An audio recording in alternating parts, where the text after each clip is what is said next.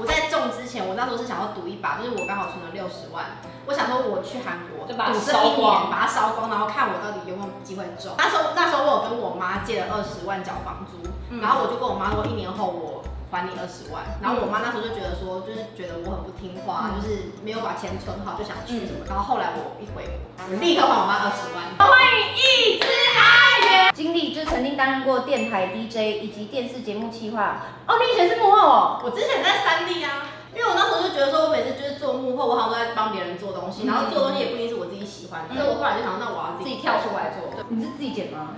我一开始是自己剪，嗯但我一开始因为那时候就是跟我之前男朋友嗯一起弄，就是他有时候他会帮忙我分担。嗯其实一开始就是在还没有去韩国之前，我就想说就是跟其他女生一样，就是可能拍美妆。美妆，但因为那时候就没有中，然后后来我就想要去韩国的时候，我就一边念书一边拍韩国文化，然后后来中了。不是我跟你讲哦，我在中之前，我那时候是想要赌一把，就是我刚好存了六十万，我想说我去韩国赌这一年，把它烧光，然后看我到底有没有机会中。结果中了。就是这个中哎，那我。想问哦，中了的定义是什么？你有把你的六十万再把它补回来的意思？哦，有，因为赚到那时候那时候我有跟我妈借了二十万缴房租，嗯然后我就跟我妈说，一年后我还你二十万。然后我妈那时候就觉得说，就是觉得我很不听话，嗯就是没有把钱存好，就想去什么。然后后来我一回国，我立刻还我妈二十万。有哪个男 YouTuber 是你的型？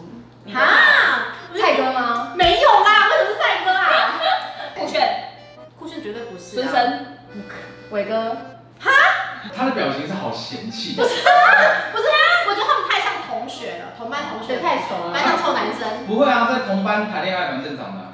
我从来没有跟同班同学谈哦，师生恋瓜吉不是啦，阿基、哎我好蛮喜欢年纪比较大的。，Oh my god，哦，陈玉玲。像玉玲哥这种，我觉得有才华的，我就会觉得，哎、眼睛亮起来，真的不错。而且我想玉林哥曾经说过一句话，我真的是受用到现在。他说，就是在演艺圈，就是呢，比谁蹲的久。不要觉得你现在流量不好，你就继续给他蹲，总有一天就是你的。呃，为什么最近都没有跟艾丽莎我？上礼拜才刚一起拍片而已，好吗？哦，最好的，我说 YT 界里面。对，我跟他最好。你是跟他最熟，为什么原因？俩在比较年轻的时候，就是两个一起在韩国疯过。嗯，对，可是我们的疯是正常疯，不是那种你知道，就是踢笑踢笑疯那种。对，所以就是其实我很了解他，然后我每次只要看到新闻，有的时候就故意就是可能在写他不好的、啊，或网友在骂他，我都会觉得很心疼的，因为他真的很单纯，他就是讲话没经过大脑而已。那你那时候个去韩国的一些 YT 或是 Vlog 的时候，你有没有想说，哎、跟他打对台？因为他也是，啊，从来没有，我就把他当日姐。我觉得可能是他有觉得怎么样吗？他也没有觉得怎样。哦，对，可是我觉得这是很刚好。我觉得他们的个性就像我们两个一样，就是我觉得你好，我就会好。对，而且这样才是真的姐妹。如果他那边偷嫉妒你的话，哦，他会啊，他真是不会啊，我都光明正大嫉妒吗。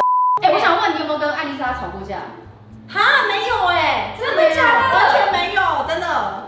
还是你们是知道就是彼此互相的底线在哪里，所以你们就不会去碰。应该是说我这个人没有底线，所以别人很难跟我吵架，除非就是今天他真的就是一直在欺负我。哎，没有底线这句话很可怕。为什么？好了，那我们脱衣服吧。有人问说，对于网友对贴你什么无脑虾妹的标签有何感想？无脑虾妹会吗？可能就是因为我跟莎莎那时候很好，然后我们俩就是疯疯的，然后讲话就是比较不经大脑，但其实就是直爽真性爽这样，但大家好像就觉得就是无脑。没有啊，因为他之前还有做一个系列，我也蛮爱看，就是不穿内衣。